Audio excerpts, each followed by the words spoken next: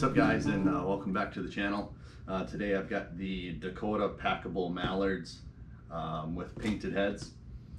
So um, I'm going to do a comparison uh, between the Final Approach, Higdon, and the uh, Tangle Free Flight series. So I've got a scale here, so we're going to go ahead and uh, open these up put them on the scale, see what the weight difference is actually between all three of them uh, that I've got here, and then see what we've got. So, uh, open her up.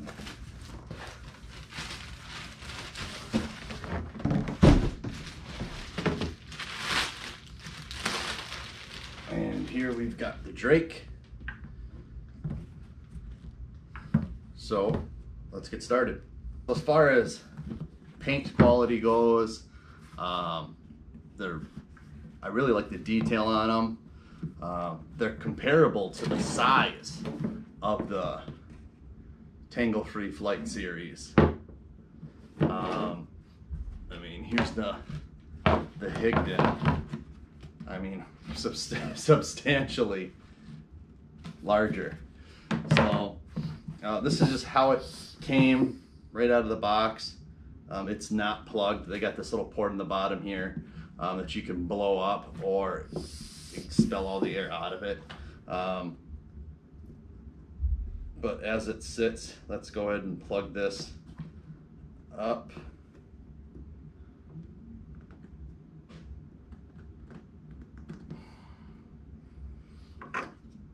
And I guess what I would recommend doing with someone to see now is check the ports on the back of these things to make sure that they'll actually accept this before you guys just throw them out into the field and try to hunt them because uh, what I'm seeing right now is that I just had to carve it out a little bit um, before I could plug that hole. So there's a tip, I guess. All right, this thing weighs in at 19.3 ounces and that is what I would call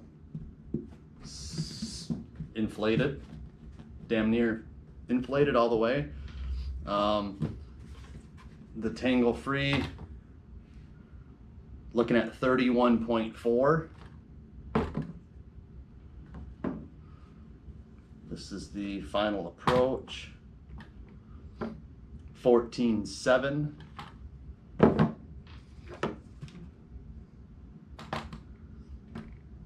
and 11.7 ounces. So the Higdon is actually lighter than the Dakota Packable in terms of weight. But you're getting damn near double the decoy. So I guess keep that in mind if if weight or size is more important to you. This Higdon weighs less. Um, but uh, let's go ahead and see as far as like portability goes. Now, if you guys have, I, I, know Lucky Duck makes some packable ones, but if you have experience with these guys, why don't you go ahead and, and, and drop a comment and let me know the good and the bad. I have not used these. Um, so here we go. So this thing deflated. Um, yeah, I, I, mean, we're 19.2.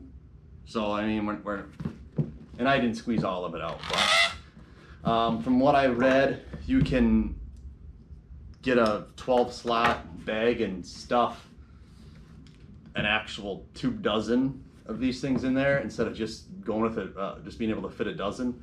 Um, I heard some guys drill this out and and get the sand out of it to make them lighter. I don't know if that's anything that anybody really wants to fuck with or, or anything like that, but I, I personally don't want to screw around with drilling holes and everything and leading to possible problems down the road. So um, These are made of EVA plastic, and I just unplugged it and it inflated itself right up. So unlike that Lucky Duck turkey decoy that I had the other day, um, this thing will inflate itself right. Um, right away. Plug it, bam, you're ready to go. Now, I would imagine that even though that these Higdons are lighter, the fact that these are bigger and there's more surface area, the they would move a little bit easier with the with the wind. Um, I don't know. I, I think that the coloring on these Packables is by far the the best out of you know, and these are a little bit dirty right now. I haven't cleaned them yet from last year, but I mean, compared to the Tangle Free, I think that the head is the best uh, looking as far as the carving goes and things like that. So uh, let me pull out a hen here for you guys to take a look at. And here's the the hen. So this is what you guys are going to be getting in the box. And there is three hens and three drakes is how they split the box up. So, um, yeah, if you guys uh, have any feedback on using any of these, the Lucky Ducks too, I mean, uh, I'll probably be looking to, to add some more here. I just got one dozen. I think I've only got a few dozen duck decoys just in general.